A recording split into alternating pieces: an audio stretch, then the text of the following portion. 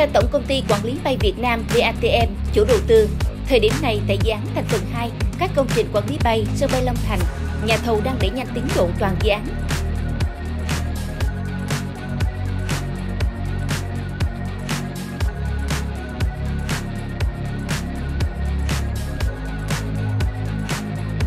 Trong đó, hạng mục đài kiểm soát không lưu được xem là đường găng của dự án đã vượt tiến độ 60 ngày, cao hơn 72 mét.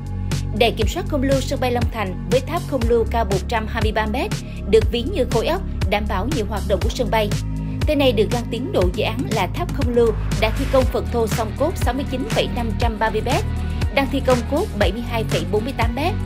Tháp có hình búp sen, đường kính thân rộng 10 mét, cabin kiểm soát có diện tích khoảng 150 mét vuông, hai cabin kiểm soát sân đổ với diện tích mỗi cabin khoảng 70 mét vuông. Thông tin từ nhà thầu Tổng công ty 36, đơn vị thi công tại khu vực quản lý bay cho biết, theo tiến độ điều chỉnh, tháp không lưu sẽ hoàn thành vào ngày 30 tháng 6 năm 2025 và toàn bộ dự án là vào ngày 30 tháng 9 năm 2025.